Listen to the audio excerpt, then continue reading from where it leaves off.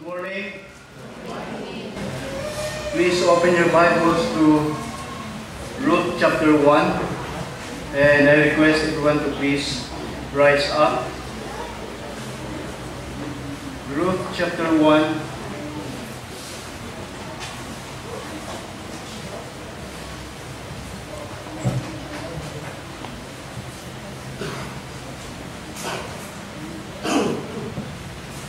I will read verses 1 to, to 6.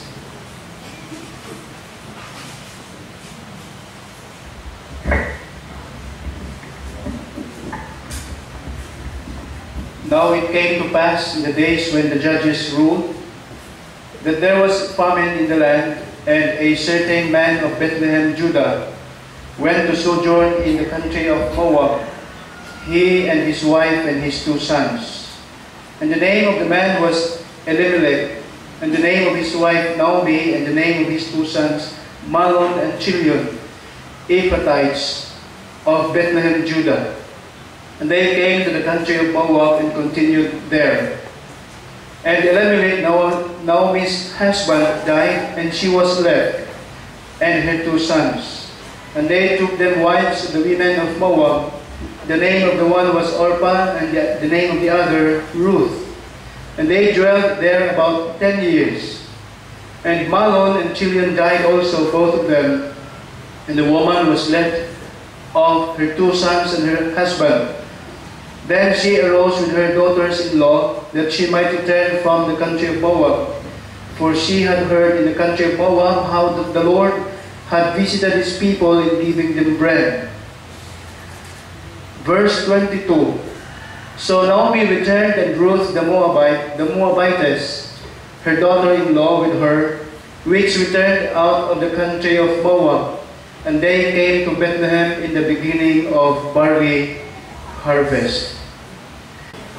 Karon nga buntag akong i-share sa inyo ha ang ang mensahe nga ang title God aligns.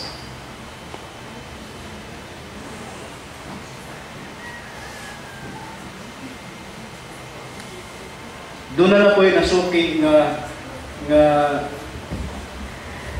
shop nga ilang ginapang repair katong mga alloy nga nga parts. Tungod kay katong motor nato sa una na bunggo to siya sa first na owner o nga na nahiwi ang iyahang iyahang yantas o daghan nag-suggest nga naa daw usa ka tigulang nga nga gamay na mong siya pero maayo siya mo align. Nga dili man gyud mabalik sa original ang iyang shape pero maayo gid siya mo align. And this morning in the light of Ruth chapter 1 we will see and study about God's aligning activities in the lives of His special people. Kinsa man mga special people. If you consider yourself as a as a child of God, then you are a special one. God's alignments or God's aligning activity. I, I, I'd like, I love the phrase in Psalm 37, verse uh, 24. Ingon dito sa, sa, sa psalmist, The steps of a good man are ordered by the Lord, and he delighted in his ways. Though he fall, though he fall, he shall not utterly cast down. Kung sa insulti sa last ng praise verse.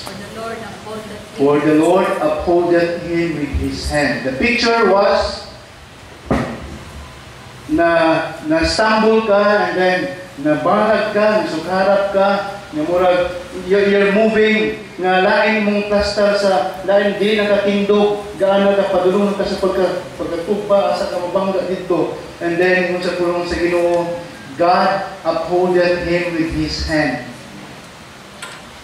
the position, the, the situation, the case. I am about to, to, to, to fall down literally because I was stumbled. But God's hand upholdeth me in His hands. God's alignment or God's holding up hands.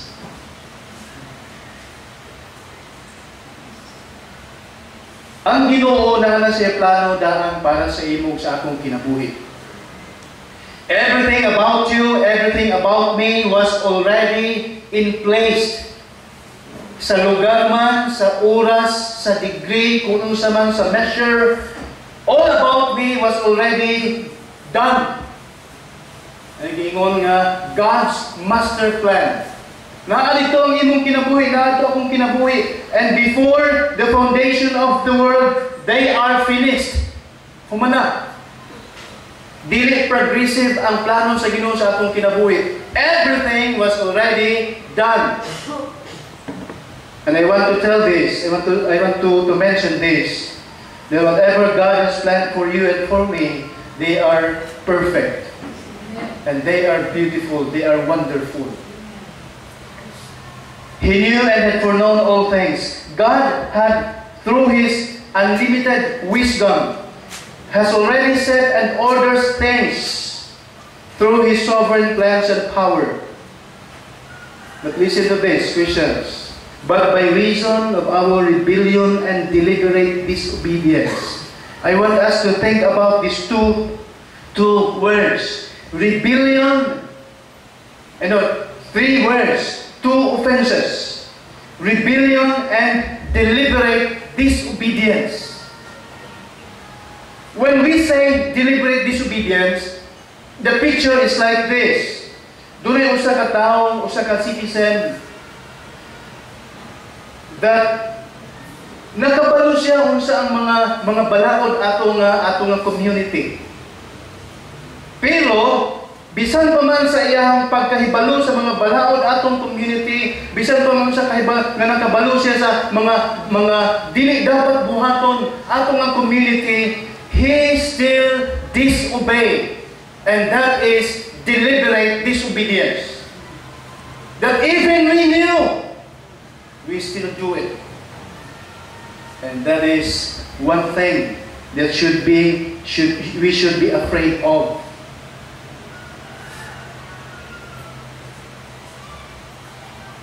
Duha daw kahinungdan uh, ang kalainan daw sa sa sala ni Satan o sa sala ni Adam was this. Tungod kay dunay question, nga naman nga sa dagat na hulog ang tao, God promised a Savior. The fall happens in Genesis chapter 3. In the same chapter, God promised a Savior. Pero sa panahon nga ang angels, Satan, had fallen. Wala maging nag-promise ng ginong salvation para sa ila. Why? You know why? This is the reason. Adam's offense was against God's ordinances. Mga sugo sa ginoo, commandments. But Satan's offense was a direct offense against God's character. What was that? Remember his five wills, I wills? That was about his pride. Now, by reason of our rebellion and deliberate disobedience, God must be or must do something like aligning i-align niya murag dunay mga adjustments nga buhaton sa Ginoo sa akong kinabuhi ug sa imong kinabuhi. In this particular verses, we can see Ruth chapter 1, verse 3, 9 to 11 to, to 19. We can see God, God aligning something in the lives of Elimelech, Elimelech in the life of Naomi, in the life of Malon and Chilion, and even in the life of Ruth. We don't like changes. Kasi gusto ka lang kausaban. Ba? Lain, lisod. change of residence, change of acquaintances, change of work. Why? Because we love comfort zones where we are at peace with everyone, where we are convenient and sustained. We love to remain with the people we are used to be. But you know what? Sometimes Christians, if we are sensitive, have you noticed that something is, is we, we, can prevent something is changing. Naagi ka kausap. Whether we like it or not, makabato, maka, makabantay na lang ta nga ang usa ka butang na usab na siya. Some place must be left. Sa kalugar dapat biyaan o mabiyaan. People or acquaintances were, were gone. Strange things are coming in view. Makita mo mga bago ng mga butang. Whether we like it or not, changes are must. And God might use things, people, situations. He might use necessities, even our failures, to move us. I, ipamove ka sa Ginoo from one place to another place. And I believe there is one way of God's aligning activity sa atong kinabuhi. God aligns. Ginas, ginaayo, ginaplastar niya ang mga butang sa atong kinabuhi. I call them God's movers. It could be someone or something. But God uses people or things to move us. They are God's movers for us to be properly in place. And then God will continue working out His plan, His wonderful plans for us. But He must do the aligning. I-align ka sa Ginoo. These things would leave us no choice but yield unto. Mutugyan ta sa mga sa mga aligning sa Ginoo. Why there are changes? There are three reasons. Because someone is working out the best for our lives. And that is God. Because God is working out for our best. Changes are possible and along our ways we, we will experience changes.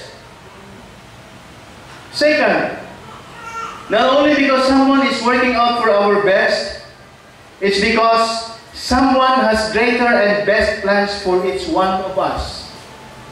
Yun, ang unahuna na kasi mong kagulingon, nga kaning imong mga ginapang plano, ginapang plasta mo sa sa future, murag, the best na siya para sa imuha. Are you sure? I'm not sure. But one thing I'm sure, God has a best plan for me. Muna pinakasiguro. Ikatulong na reason why there are changes. Not only that God is working out the best for our lives, not only because someone is, has greater and best plans for, for me and for you, third, because there are times we are lost from His ways. There are times that we are lost from God's ways. That we make detours that we follow our own ways. Ingon pa sa usa ka sa usa ka author, this happened when we, we, we when we follow our seemingly quote unquote right ways. Magunang-una na ka nasakto ni siya ingon pa sa sa sa ni King Solomon. There is a way which seemeth murag seemeth good unto a man, but the end thereof is destruction. And God must align. Iusab sa Ginoo ang direction sa atong kinabuhi for us not to be totally destroyed. God will do the aligning for us to be spared from, from getting hurt. God will align something in our lives for us to, to live His plan para may kinabuhi na ang plano niya sa atong kinabuhi. Ruth chapter 1. let us see the, the sequence. And, and I like this, this chronological view has sa, sa chapter 1. Boaz must redeem Ruth. Why? So that Obed would be born. Why Obed should be born? So that Jesse would be born. And why Jesse should be born? So that David would be born. And why David should be born? Nganong dapat matao si David? So that Nathan, his son, should be born.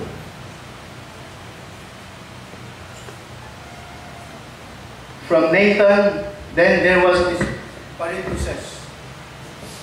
Sa history, 500 silent years that God was very or so silent. Then came Matthew, Luke, Joseph, and Mary. Then finally, Jesus. Who is Jesus? The Savior. So Boaz must redeem Ruth so that Jesus, the Savior, will come. Did you see the mas the mas ang, ang pagka pagka-importante sa sa event sa kinabuhi ni Ruth, sa kinabuhi ni Naomi, and that is why I'd like to share to you how God aligns the life of Naomi. Para lang mahitabo ang pinakadako nga plano sa Ginoo sa history sa mankind ang kaluwasan. How the Lord could do that? Mo gina siya disgutan sa chapter 1 sa Ruth. Verse 1. Please look at your Bible. It came to pass that judges ruled the land and there was famine in the land. There was shortage of food by reason of invasion or wars. Tungod kay atong panahon, gumot kayo sa sa Bethlehem, Judah.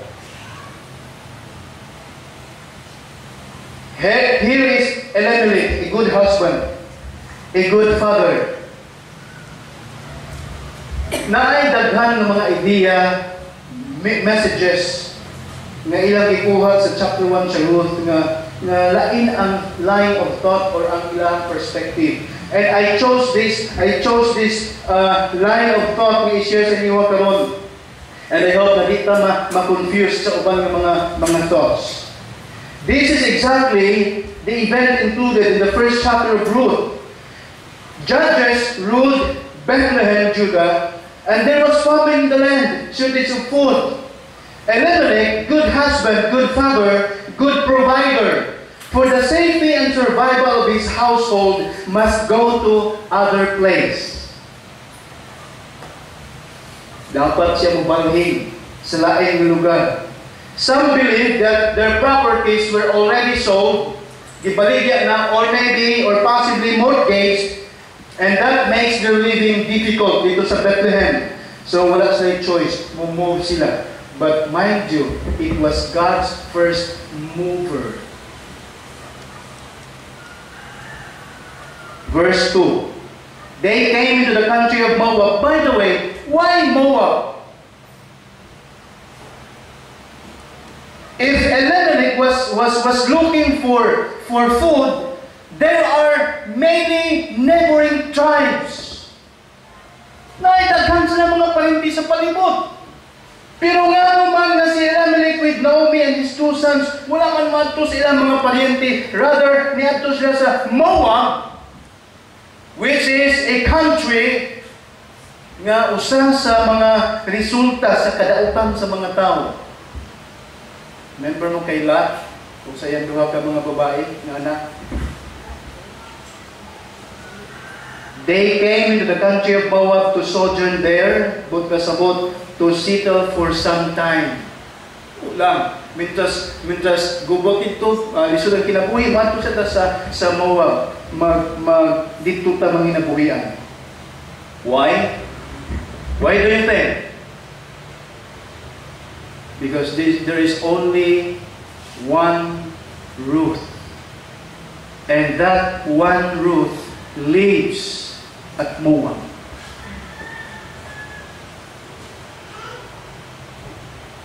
Isa lang. Noong nga kanang mga asawa, no? Wala, hindi ka pareho. Kamugyod ang gihatag sa mga bana. Sa kadaghan sa lugar, sa kadaghan sa palibot, kamugyod! Why? Because there's only one root.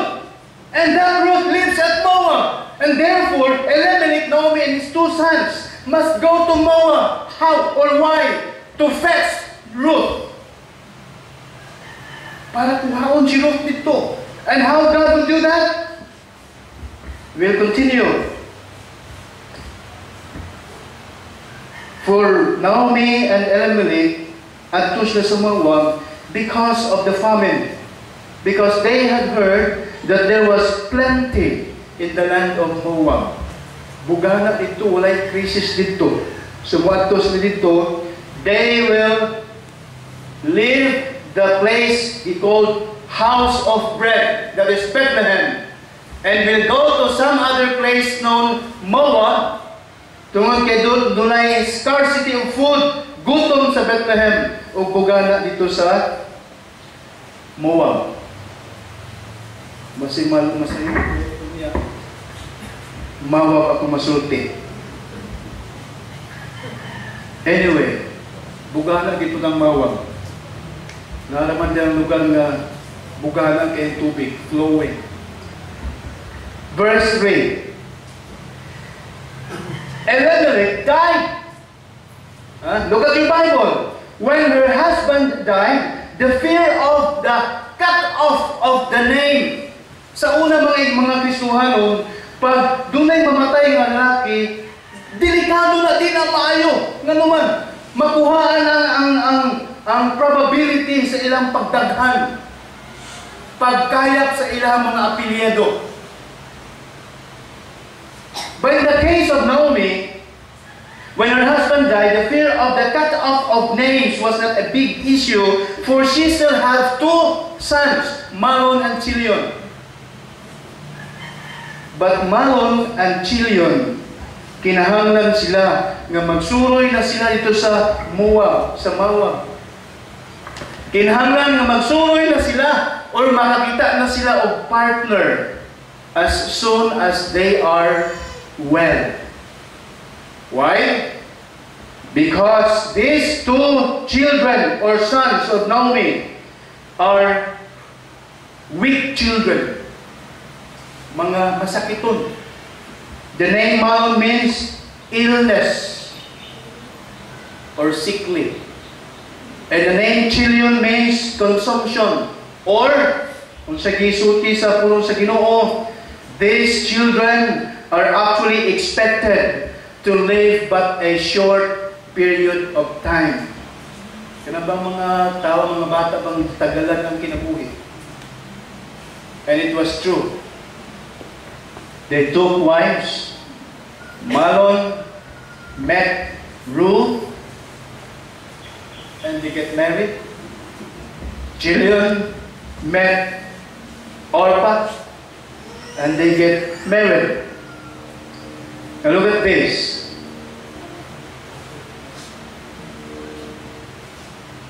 After some time, nga naka-minyo na sila. And finally, Ruth, nalink na siya sa pamilya ni Naomi. At di na ang katong sequence of events sa chronological nga, nga viewpoint nga nung niadto sila Moab, who is Ruth, who is Boaz, das and das. Ato itong nanduman ko ni. Let's connect our our study on that on that picture. Naana si Ruth, naminyo na kay Malon.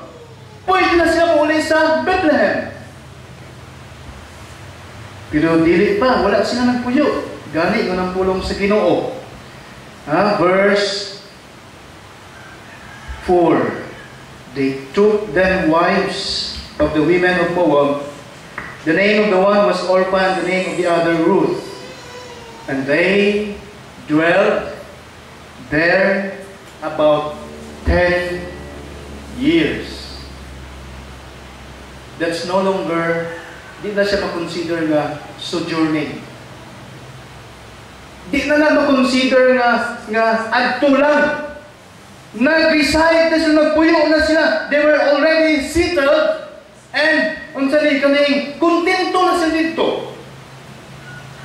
And what about God's plan? What about Boaz? What about Ruth?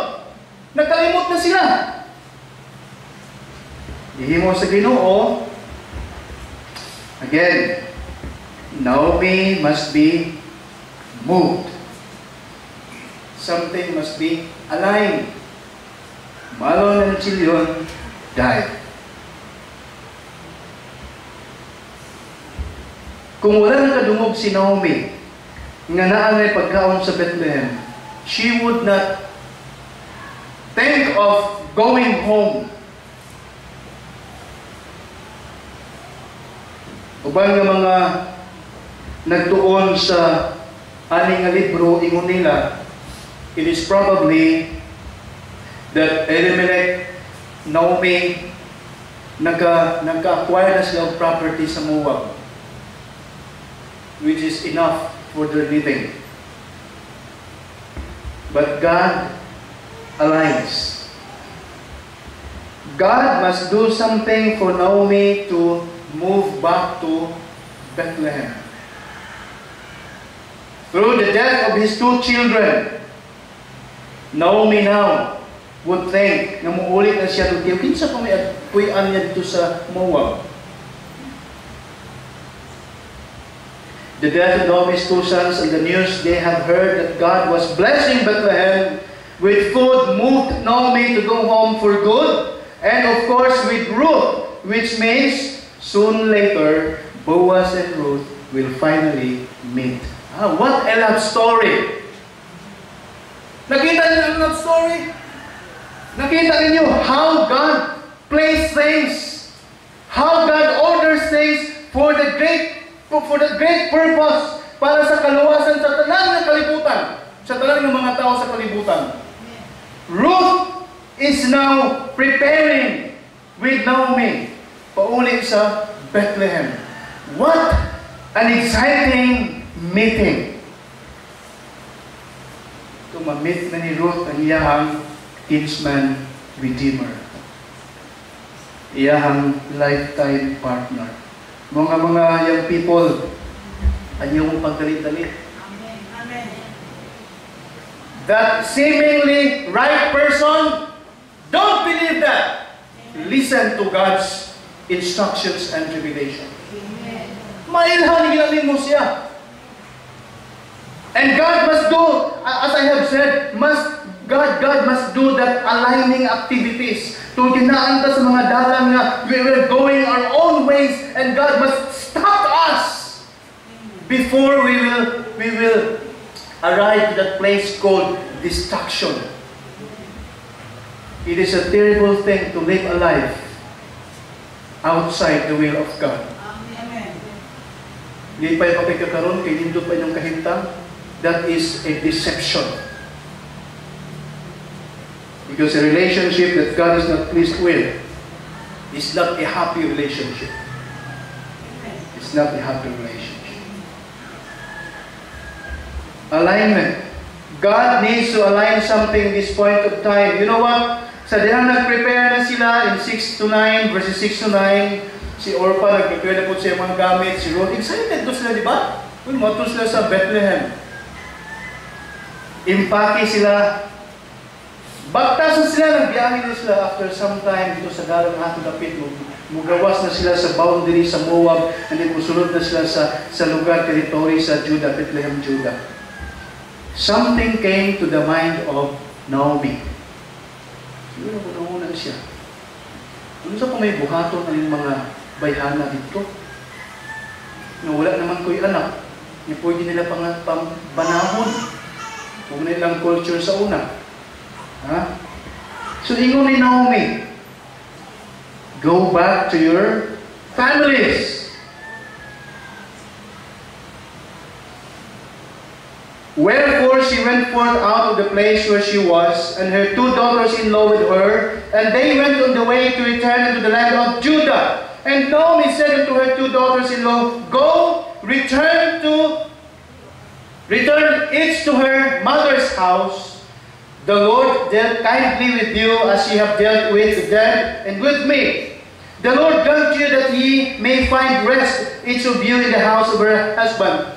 Then she kissed them, and they lifted up their voice and wept.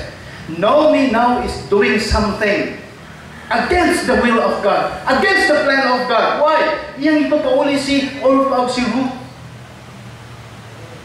God must do something in the heart of Ruth. Kinsay nag-resist sa desisyon ni Naomi. Ruth. Why not Orpha? Because Orpha is not Ruth. Si Ruth lang man ang i-redeem ni Boaz. Did you see how God was, how, specific God was? Inalagay ka specific ang Ginoo. And we need His and understand His working for us to be right and be in tune with God's provisionary word. Mga lisod kayo mga Kristohanon nga magpadali-dali ta sa itong mga gusto. When we are driven with our emotion, when we are driven with our pride, when we are driven with the seemingly right ways. Anyway, praise God for His mercy. Praise God for His grace. God will see us through along our way and stop to us. Mapunong ta sa Ginoo. And that is His sparing activity to save us from the worst. Orpha left, but Ruth insisted. And it seemed to be that Naomi has no choice but to bring her home. Magda sa pud sila. Ni Gusto ni Boaz. How many times you have read this chapter or this book?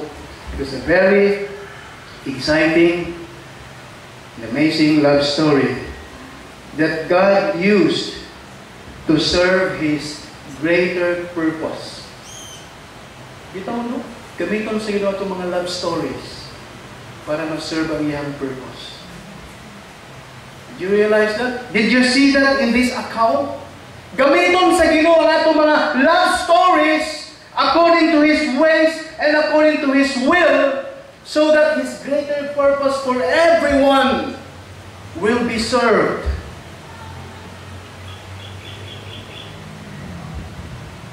God's way or meant means of aligning roots. Ruta. You know what, Christians, sometimes or most of the time, it hurts us. It is hurting, disappointing, frustrating, painful, dream blown, blowing. Kanang mga aligning sa Ginoo, they seem to be a dream blowing act of God. Murang naguba imong damgo sa kinabuhi, but that is not true. God is only aligning our lives for us to be in tune and once again be put again to His track sa dalan sa Ginoo. Go through para sa pag-fulfill sa iyang plano for me and for the lives of many. We have seen the aligning work of God in the life of Naomi. In The summary, why we call it frustrating, disappointing, hurting, dream blowing, blowing, because he said, she said, verses 19, so they went, they too went until they came to Bethlehem, and it came to pass when they were come to the, to the city, all that all the city was moved about them, and they said, Is this Naomi? She was changed. Ang iyang appearance was actually changed. If we know in verse 20, Hey, call me not Naomi. Call me Mara. Call me not pleasant. Instead, call me bitter. Inana kadako ang disappointments para sa unahon ni Naomi. What had happened at Moab was actually a dream-blowing event sa iyang kinabuhi. But she didn't realize who she brought to Bethlehem. Wala sila guna-guna. Kinsa yung gidala niya sa Bethlehem. The grand, grand, grandmother of David. Pirmi na ito siya madunggan ng Kristohanon. Yes. She never realized what God's plan have carried out, had carried out through her experience. You're hurt? You're disappointed? Huh? You're angry with God, maybe, asking Him why? Hey, listen to this. Naomi did not realize what of God's plan had, had happened, was, was, was carried out through his experience. Wala silang kabalo, wala silang kawalas, but later on sa iyang kinabuhi, her name was restored to her. Pleasantness again shines in her life. Na bloom utol si Naomi. Sa kalipay niya, nga si Ruth, karon giminyuan ni Boaz, was redeemed by Boaz. Ang apelyido siyang bana, magpadayon. Tungod kay ang anak ni Boaz o ni, ni, ni Ruth, makonsider siyang panahon nga anak ni Malon. That? Usahay lang din makunamuna ta Kristohanon bangaway maayong nahitabo sa ato mga pag-antos. But if God is that is there aligning our lives, there there will be something na agoy maayong nga butang ng mahitabo. And first good thing is that we are spared. Amen. Wala ka nagdalasa sa pagkaguba yun. And the second thing is that after God has revealed His plan, makaingon ta Ginoo, salamat kayo. Kibisan sa ako mga sayop nga gihimo, you have accomplished one of your plans. And thank you so much, Lord. By the way, the relationship of of now of Ruth and Malon does not justify a relationship between a a believer and unbeliever.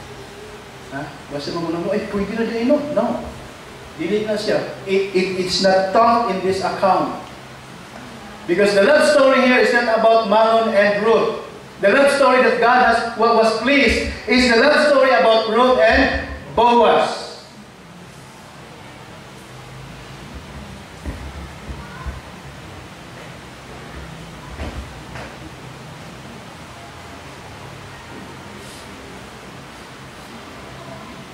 God, though He will be hurt, bisan masakitan ng ginoo, He will allow us to be hurt. He will allow us to be in pain. He will allow us to experience brokenness. Though God's heart too will be broken because He loved us so much. But for one reason, God wants to align our lives. Muna siya, whatever that takes, God must do the aligning. Dapat yung himuon sa Ginoo mga aligning, mga pag, pag-adjust sa atong kinabuhi why God cares for for the greater good for us. And God cares for His greater plans for us. That's is terrible. Hard way. Devastating. Difficult. But Christians, if we will only submit to His aligning activity,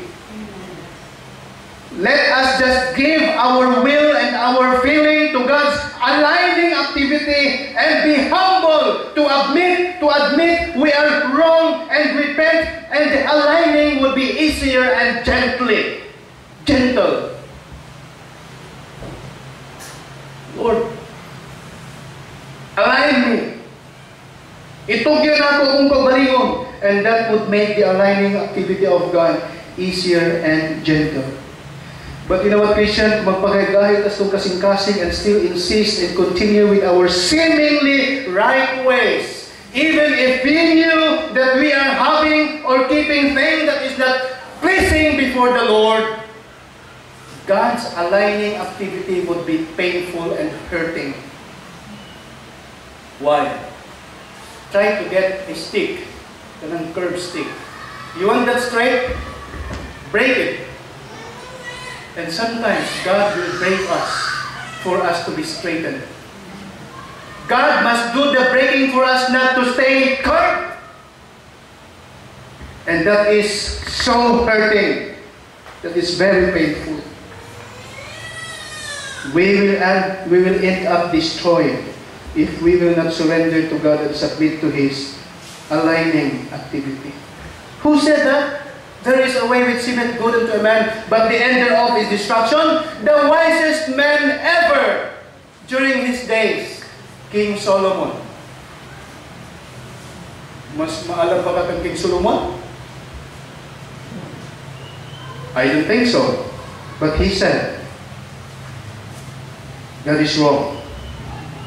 Christians, it can be illness the Lord will use to frustrate our pursuits that are not aligned with His plans. God will use illnesses. God will use weaknesses. It can be a failure or mistakes that the Lord will use to correct our stubbornness and arrogance. Gamiton sa Ginoo mga kamalian to mga kapalpakan nato para nga para nga i-correct sa Ginoo atong pagagahi ug ulo ang atong pagka-independent. Katong yun na deliberate disobedience ah that directly hit the heart of God. When God says no, then we we we we deliberately say I will do this. Do you think God is okay? No, God is not okay. Usahay. Murag okay lang ta. Murag wala na tabo. Mind you, God along your way will see you. Will rebuke you, will correct you, and will break you. Why? Because God wants us to be aligned. God wants us to be fine. Not only illness, not only failure or mistakes, it can be a loss of loved ones. This is terrible. That God must took some of our loved ones just for us to be aligned. Why we are that hard? Yun po sa picture.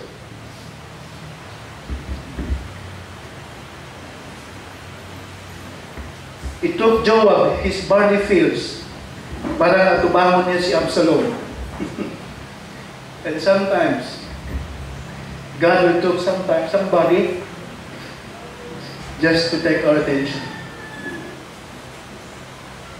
Kuhaon lang sa ginawa natin attention. Para mahumok ta. Ngayon tayo na siya nahitabo. Loss of loved ones. Loss of job. Okay ka, di ka mahadlok sa mga gihimo ni mo sa kabalo nga di ka ng Ginoo. Anyway, you have your job. God can anytime took your job. I tell you. Loss of properties or fame the Lord will use to confront us of our pride and arrogance. Christians, it's terrible. Kadlukan. Pero kinahanglan buhaton sa Ginoo kung magpagahit-gahit ta sa iyang tubangan. Yes, God is a God of chances, but He is holy. He must impose His judgment or justice. The Lord will do keep us aligned with His best plans, whatever it takes. Bisag unsay may tabo, buhaton sa Ginoo para lang ma-align ta sa iyang plano ug kaubuton. I want to read this in Ro- Romans chapter 12 with this uh, uh, translation. Please open your Bible, Romans chapter 12, verse 2. But I will start reading from verse 1. Apostle Paul was, was talking to the Roman Christians.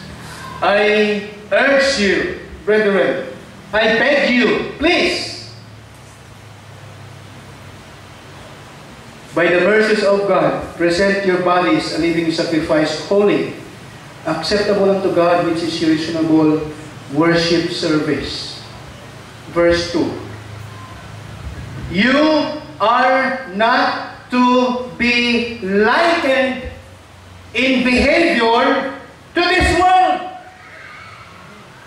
Dili mo dapat mapareho sa mga kinaiya sa mga tao nga liya sa kalibot, sa palibot. But be ye transformed or be ye kept on changing. That is our progressive sanctification. That day after another, we are changing to be more like the Lord Jesus Christ. Kanusa nagsugod ka nga changes. These changes began when you accepted the Lord Jesus Christ as your personal Lord and Savior. 2 Corinthians 5.17, if I'm right. Therefore, if any man be in Christ, he is a new creature. As ang changes with all things have gone. Behold, new things are become new, and all things are of God. Are you changing? Are we changing? Are we evolving? Nagausab, nagausab, nagto sa pagkatahom ni Kristo. Keep on changing and made new in mind. And by the renewing of your minds, why? Nganong kinahanglan ta nga mag-change, mag mag mag-improve, magnindot pagid yung Kristohanon. Listen to these questions so that you may be able to determine what God's will is. Unsa ang mag-usab sa ato? The Bible will change us. I mean, God will do the changes, but God will use His words to tell us, do not do this, do not do that, do this and do that. The Bible! And we keep on changing by His word through the working of the Holy Spirit. And when we, when our mind we we're full with God's word, we will know, we will be able to determine what the will of God. And sad to say that even in point of time sa kinabuhi, that we are able and have known the will of God, we still deliberately do things our own ways. Ato yan kung atong mga kaugalingon, bisag nakabalunan ta sa kamatuuran. And that is a terrible thing. David says, It is a dreadful thing to fall on the hand of God. Are you not afraid to fall on the hand of God? So that you may be able to determine what God's will is, that you may be able to determine what is right from wrong, that you may be able to determine what is proper from improper, that you may be able to determine what is pleasing and complete before the Lord. That is the purpose why we must change for the better. That is the reason why we need the Word of God because we must change. We must grow. We must improve. Do you love your Bible? Do you read your Bible? Do you know your Bible? Do you memorize the books in your Bible? We should know His Word. Because by knowing His Word, we will know Him and we will know His will. It is that serious, inana ka seryoso mga Kristohanon that we must be cautious enough, discerning enough, serious enough to know and understand the will of God, to be sensitive to the Holy Spirit's guidance and revelations. Inana sa importante. Don't play with God. We seem to be playing with God when we knew His commandments and still doing it or disobeying it. Are we playing with God? What about our respect to Him? Nganong sayon nagipaghimo sa mga butang klaro kay ingon sa Ginoo, do not do this. Why it is so easy for us to do that? How about our respect to Him, our reverence to Him? You know, Christians, many times you're acting like disrespecting our God. Nakabalutan that God sees all things. Even in our minds and in our hearts, God knew all things. We can't hide anything from Him. Do you really respect Him?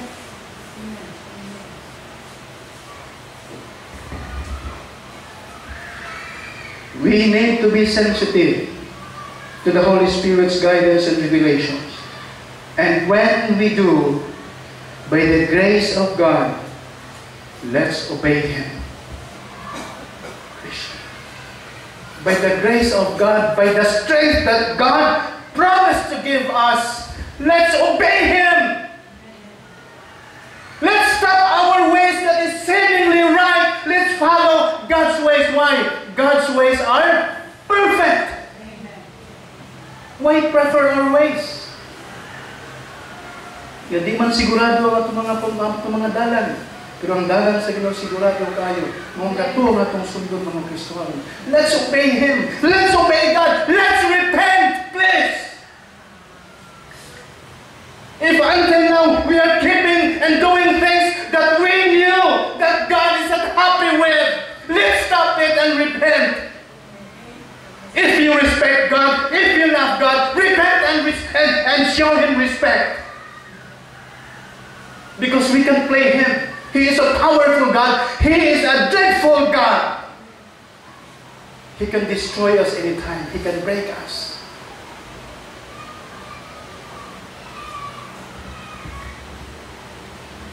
If you real- realize something, kung na ka realize something sa mong kinabuhi, pinapanghimo nimo that is you are, you, are sure not right with God, ask Him to align you. Lord, I give you myself, I give you my heart, my mind, please align me. I am keeping these things for a long time, please align me. Lord, by your mercy and grace, back to your track again and make me a vessel. Sudlanan, butanganan, gamitonon sa Ginoo. We cannot play with God. If God is that serious, kung iyan ka seryoso ang Ginoo sa pagdeal sa atong kinabuhi, we should or we must be that serious too. Why? Do you remember before I preached the prayer meeting? We exist not for ourselves. We exist for Him. And therefore, keep ourselves pleasing to the Lord. Wala may pulos ng kinabuhi, nagbuhi pa tayo, man malipay ang ginoo. Wala may pulos yung kinabuhi. Why? Because the reason we still breathing is because of His grace and He sustained us with His grace because something God wants to accomplish through our lives. And what are we doing? Nag-cooperate pa ta sa ginoo, mga Kristohanon, so that His purpose would be served. At the end of the day, we would say, Lord, thank you for something like Naomi. He, she, she, she's not, she is not conscious nga sa iyang mga pains and hurts, disappointments sa Moab, sa Moab, something or great thing had accomplished. Ruth meets Boaz. But if you will read again, God does the aligning. Nagtuod yung Kristohanon. Nga doon na gid ako nga planong kinabuhi ang Ginoo sa imong kinabuhi. Sa atong kinabuhi tanan. Kung ma-accomplish lang na, if we are in line with His will and plan. Ma-accomplish lang siya, though sometimes we, we, we do detours. God will do His aligning work for us to be on track again. Praise be to the Lord. Lord, salamat kay Ginoo nga imo kong ibadlong. Sa ato masukot ang badlongon. Ayaw ka sumaw pag badlongon ka. Nagbasa ka sa Bible, gibadlong ka sa pulong sa Ginoo, nakadungog ka sa wala sa ka. Be thankful to Him. Why? God wants you to be enter again. Or when God wants to, to, to correct us. So don't be angry. Be thankful. Be thankful. When we feel God stops, He does not harden our hearts. Amen. Ipabati ka na sa Ginoo ba nga, hulong na. Ipabati ka na sa Ginoo, ayaw na. Hindi na ito paglayo itong kasing-kasing. Let's submit to His ways and will. Here are dangerous scenarios ng Kristohanon before we go to our conclusion. When it is a dangerous thing, when we get used living contrary. or unpleasant before the Lord. Kanang murag naanab na kita ng kinabuhi nga against sa kaubuto ng plano sa Ginoo. Naanab na ka kinabuhi nga supak sa pulong sa Ginoo nga imong nahibawan. That is a dangerous thing. It's a dangerous thing when you get used of doing things you knew God is not happy with. That is a dangerous thing. It's a dangerous thing when you remain and insist on doing or keeping things which you already knew wrong and sinful in the eyes of God. And it's a very dangerous thing when your heart gets calloused or seared. Have you encountered these words? Kanang di kubala na bitaw ang atong kasing-kasing. Nga di na ta makonsensya sa sala nga buhaton nato. Di na epektibo ang bersikulo nga nagsulti sa sugo sa Ginoo. Di na ma-epekto sa kasing-kasing. Our hearts were already calloused. Lord, please help us. Yung katawan lang nato ang sugo sa Ginoo. Katawan itong mga reminders sa Ginoo. That's easy. We take God lightly. Lang. You know what? We can play God. Let's always remember that. It's a deception. It's a lie to think that God is, is faithful to you even though you are doing bad things. Maayo naman di ako nang ginawa sa ako. Bisa akong kinabay sa pangalaman. Bisa ginanay akong kinabay. No! You are only sustained by God's grace because God is gracious. You are only sustained by His mercy because His mercy is everlasting. But I want to tell you, Christians, God will see you through. God will see you through. Magkikistorya din ang Ginoo sa inyo along the way. And I hope that would not be painful. Di ka na siya sakit. God had already ordered His plan for us. That master, master plan is perfectly beautiful and wonderful. Oh, if we can just imagine ang plano sa Ginoo nga ingon niya perfect and wonderful. To live life abundantly, to live life peacefully, to live life joyfully. God is always with us. Listen to these Christians. God is always with us through our ways. Na ba na Ginoo sa tuwa mga ginaagianan. And every time we compromise His will, He will do align us and bring us back to the right track. And that is how gracious God is. That's how patient our God is. Only submit and obey Him. Wala na itong buhaton. Pagtugyan lang sa Ginoo, pagsunod sa Ginoo. And of course, repent. Know Him. Know His will and follow what you have known. That woman saw that woman and asked, Lord, buhatan ng mga ba bawal, mga sagabal sa akong pagkalagad sa imuha. Ang bang sagabal sa iyong kinabuhi dahil kayong iyang, iyang anak na lalaki. So God took His, his son. And she gets angry with God. Why God took His son? She prayed. My point is, God is so serious. And when His will is compromised, He will do the alignment or the aligning. What we have known about Him by His grace, you know, kanina, let's obey Him. Obey His instructions as the Lord gives you knowledge and understanding. Raise, raise, raise a life or lead a life that, that explains truth. When we understand and realize something that is not wrong, that is not right, let's correct it ourselves using the Word of God. Christians, is there something in you? Be honest to yourself. Don't live, don't be deceived that is, everything is okay with you. Be honest with yourselves and be honest before the Lord. If something is not right in you, if something is not right in me or with me, let's deal it with God.